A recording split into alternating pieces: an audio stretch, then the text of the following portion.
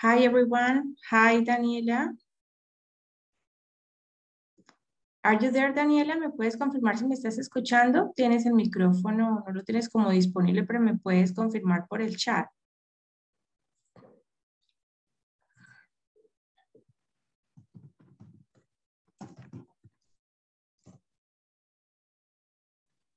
Daniela, are you there?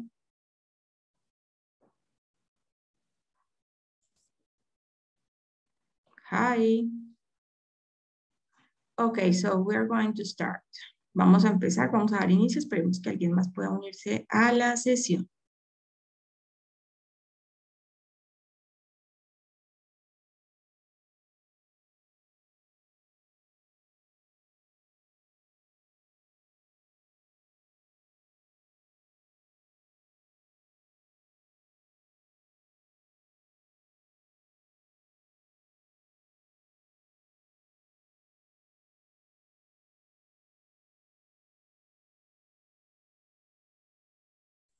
Hi, Tatiana. Good morning. Tatiana, ¿me puedes confirmar si estás escuchando, por favor? ¿Estás observando mi presentación también? ¿Me puedes confirmar? Sí, señora. Ah, ok, perfect. Thank you, Tatiana. So we're going to start with today's session. Vamos a iniciar entonces con la sesión del día de hoy. Recordemos que este es nuestro programa English for Beginners. This is our virtual session learning activity for, for our five and six week. This is the final virtual session. Esta es ya nuestra sesión virtual final, ¿ok? Cerramos. Hola, Daniela. Bueno, entonces, como les decía, vamos a iniciar ya con nuestra última sesión, chicas. Esta ya es nuestra sesión final, básicamente la sesión de cierre. Em, ¿Cómo les fue este fin de semana? Larguito que tuvieron. ¿Pudieron descansar ese jueves, viernes santo y pudieron adelantar actividades? Cuéntenme. ¿Cómo van? ¿Cómo van con sus evidencias? ¿Van al día? ¿Tienen pendientes algunas? ¿Cómo van? ¿Aprovecharon este fin de semana larguito para el desarrollo de actividades? Daniela, Tatiana. Sí, señora. Bueno, me alegra mucho. Daniela, ¿tú cómo vas?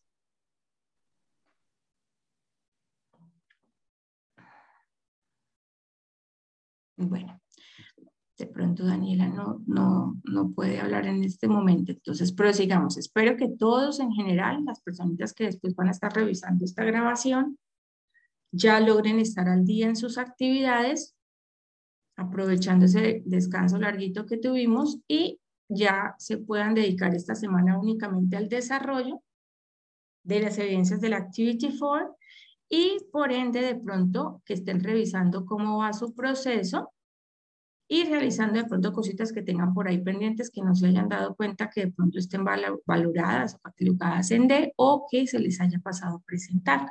Recuerden que el curso inició el 16 de marzo y finaliza este 29 de abril. Sin embargo, tenemos como fecha máxima de recepción de evidencias o de actividades el 27 de abril a la medianoche. Entonces, mucho ojo con eso. Recordemos que los criterios de aprobación son los siguientes, son Em, cuatro resultados de aprendizaje los que se van a valorar en el curso y esos resultados de aprendizaje se aprueban presentando y valorando cada una de las evidencias que, se, que la conforman. Esas evidencias se valoran en A para aquellas que se aprueban y D para aquellas que no se aprueban y que se deben volver de pronto a complementar y volver a enviar. Recordemos entonces que esta semana vamos a trabajar cuál Resultado de aprendizaje, el número 4, que hace referencia a describir la apariencia física de las personas utilizando la estructura y el vocabulario requeridos. Bueno, las reglas del juego ustedes ya las conocen desde el inicio. Esta semana Activity 4 vamos a trabajar entonces la semana 5 y 6 desde el 13 de abril hasta el 29 de abril. Como les dije, fecha máxima de recepción de actividades el 27 de abril de la medianoche. Ustedes ya conocen los espacios de comunicación, cualquier cosita, por favor, em, se comunica conmigo y vamos a entrar ya en materia con el desarrollo de las dos evidencias que nos competen para esa Activity 4, que es la Evidence Interactive Activity I Love Shopping y la Evidence Consolidation Activity. ¿Claros hasta aquí, chicas? ¿Me confirman, por favor? Sí, señora. Okay, so we're going to continue. Señora. Vale, gracias, gracias chicos. Entonces, vámonos ya al desarrollo de la última actividad. Nos vamos aquí a la semilla del curso y vamos a entrar acá, contenido del curso. Para contenido del curso tenemos entonces que esta semana 5 y 6 vamos a estar desarrollando la Activity 4, ¿ok? Vamos a despejar acá el espacio de evidencias mientras que vamos a ir eh, desarrollando o revisando el material de aprendizaje de esta semana que hace referencia a what to wear today, qué ponerme hoy, ¿ok? Entonces, para esta actividad vamos a desarrollar lo que es vocabulario sobre clothing and outfits, prendas de vestir y atuendos, vocabulario de colors, colores, y vamos a hablar sobre physical descriptions and adjectives, descripciones físicas y adjetivos. Entonces, como les comenté, lo primero que vamos a desarrollar es un breve vocabulario.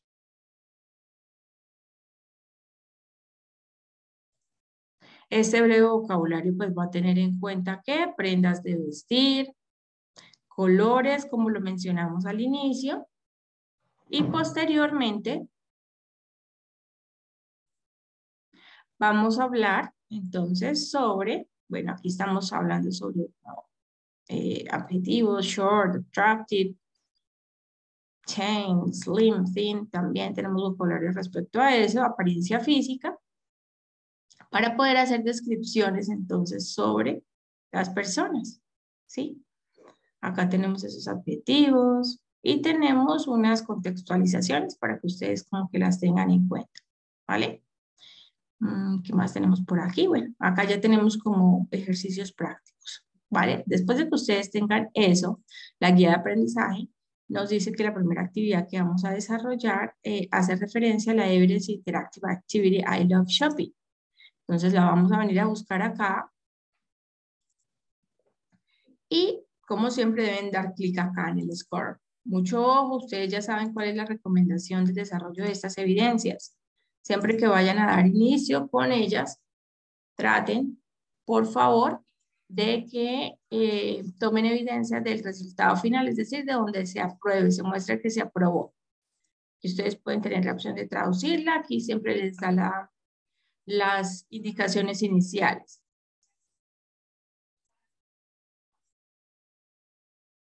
Bueno, acá nos dice que para presentar esta actividad todos los ejercicios se deben presentar de forma correcta y cualquier eh, situación que se llegue a presentar, pues se contacten conmigo. Entonces, vamos a darle siguiente. Aquí básicamente nos dice, nos plantea un contexto es que nos da una situación donde Richard está eh, en el centro comercial eh, escogiendo algunos outfits. Entonces tenemos que escuchar eh, qué es lo que a él le gusta y seleccionar de esa forma el maniquí. Y nos da aquí, por ejemplo, nos está dando como una breve ejemplo. Vamos a hacer, a ver, tratemos de hacer el primero. Dice, I like the mannequin with the yellow shirt, blue jeans, brown cap, and brown bag. Entonces nos, dio que le nos dijo que, que a él le gustaba, le agradaba el maniquí con la camiseta amarilla, unos jeans azules, una gorra café y un bolso café. Entonces, mm, démosle clic ahí para que se cierre y ayúdenmelo a buscar. ¿Cuál creen ustedes, chicas? Bueno, yo aquí el que más veo que se ajusta es este personaje. Ese es el correcto, entonces damos clic en Next. Recuerden que todos esos bolsitos tienen que estar en verde, es decir, que se hayan aprobado para que se pueda aprobar la actividad.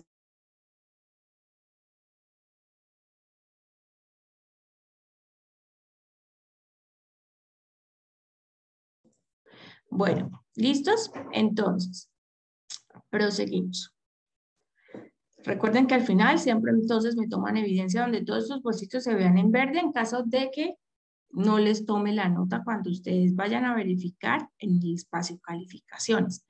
Me envían esta imagen, me dan su nombre y me regalan su número de ficha, que es este numerito que aparece acá en paréntesis, y yo les colaboro y se las valoro de forma manual en caso de que no les aparezca en calificaciones. Es decir, primero se van y verifican. ¿Listos? ¿Claros acá con esta actividad? ¿O tienen alguna duda? Sharon ingresó y volvió a salir. Bueno. ¿Listo, Daniela? ¿Listo, Tatiana? Eh, sí, señora. Listo, está muy sencillo. Vale. Vamos a cerrar. Después de esto, lo que nos dice la plataforma. Mm, bueno. Otra vez evidencias. Es que desarrollemos esta actividad, la Consolidation Activity. En esta actividad, ustedes lo que tienen que realizar es lo siguiente. Tienen que realizar dos archivos de audio, ¿vale? Entonces, ¿qué van a hacer? Grabar primero el primero miembro de su familia utilizando pronombres sujetos, adjetivos, posesivos, toda esa información que vinimos trabajando como que durante todo el curso y que de pronto en esta eh, materia de aprendizaje tenemos ahí registrado, em, describiendo a este miembro de la familia que ustedes van a escoger. Y posteriormente hacen lo mismo, pero con una persona a la cual usted admire mucho. Puede ser alguien famoso o también puede ser alguien conocido, un miembro de la familia. ¿vale? Entonces van a hacer dos archivos de audio describiendo a esas personas haciendo uso de la estructura gramatical que aquí la, la actividad nos solicita. Entonces, primero para el stage one, como nos dice, que sea un miembro de la familia, entonces aquí vamos a describir al, al padre. Entonces empezamos. Hello, my name is Juan Pérez. This is my father, José Pérez. He's 45 years old. His birthday is on April 16. He is Colombian, he is short, his hair is black and curly, his eyes are brown, he likes to wear jeans and sneakers, he likes to play soccer, his favorite teams is Barcelona, he likes dogs, he thinks they are loyal and friendly. Bueno, entonces como ven, esa es una compilación de básicamente todo lo que hemos visto durante el curso.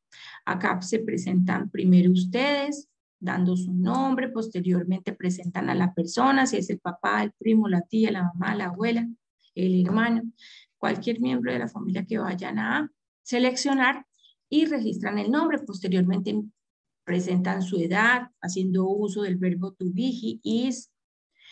Em, bueno, esto de cumpleaños es opcional si ustedes lo quieren, la nacionalidad que lo vimos en la Activity One y empiezas a hacer una breve descripción de su apariencia, ¿vale? Su descripción física. Después de esto indican qué es lo que le gusta usar, qué es lo que estamos viendo en esta, en esta fase con las prendas de vestir. Y además de eso, con lo que le gusta. He likes to play soccer, eso lo vimos en la actividad pasada.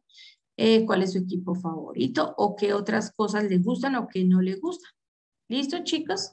Y posteriormente acá entonces su ídolo, por ejemplo, aquí están hablando de Lady Gaga. I admire Lady Gaga. She's a famous American singer.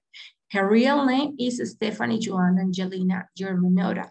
She's uh, uh, 28 years old. Her birthday is on March 28. Her parents are Italian. She's beautiful. She likes to wear colorful dresses, but she wears t-shirts and shorts when she's at home. Her favorite color is pink. She loves animals. She has two dogs and a cat. She likes to ride horses on weekends. ¿Listos? Ahí están, básicamente. Y acá, si quieren ustedes tener una muestra del, del audio, de ese speaking que yo le hice, aquí lo pueden abrir en estos dos archivos. Mm, ¿Dudas e inquietudes sobre estas actividades, muchachas? Sharon, bienvenida. Entonces, ya saben, son dos archivitos de audio los que me deben enviar. No me tienen que enviar nada más, ni imágenes, nada. Solo dos archivos de audio.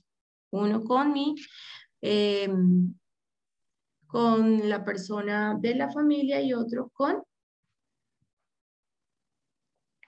eh, la persona que admiramos.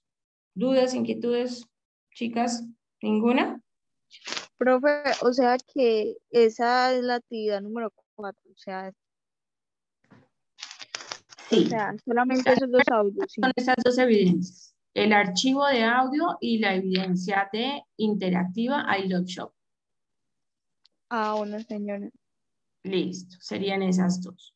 Bueno, recuerden entonces que como ya estamos a finales de curso, Ya especialmente cuando desarrollen estas evidencias del Activity 4, se tienen que dirigir con mucho cuidado a este espacio de actividades complementarias.